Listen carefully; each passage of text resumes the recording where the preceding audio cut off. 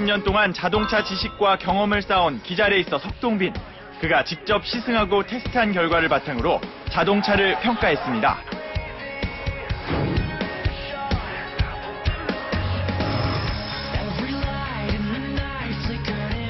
벤츠 S클래스 위상은 대단합니다.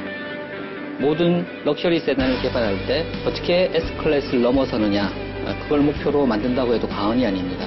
또 기술적인 면에서도 여러 가지 고급 옵션과 첨단 안정 장치를 가장 먼저 넣는 것으로도 유명하죠.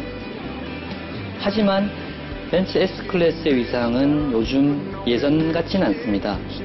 벤츠만의 정체성이 많이 이제 희석됐다고나 할까요? 경쟁 브랜드 차종들이 어깨를 넘어서서 일부 앞서는 측면도 있으니까요.